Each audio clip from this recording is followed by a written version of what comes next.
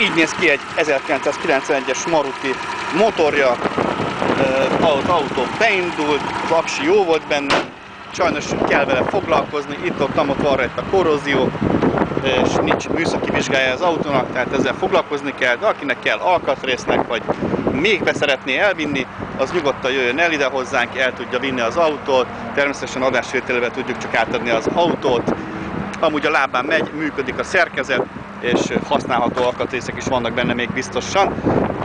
Más nem tudok tényleg elmondani, még tényleg az, hogy működőképes ez az autó, de sajnos már az idejét múlt öreg szekérről van szó.